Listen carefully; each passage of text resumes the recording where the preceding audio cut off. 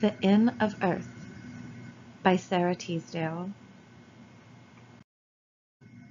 I came to the crowded Inn of Earth And called for a cup of wine, But the host went by with averted eye From a thirst as keen as mine. Then I sat down with weariness And asked a bit of bread, But the host went by with averted eye And never a word he said.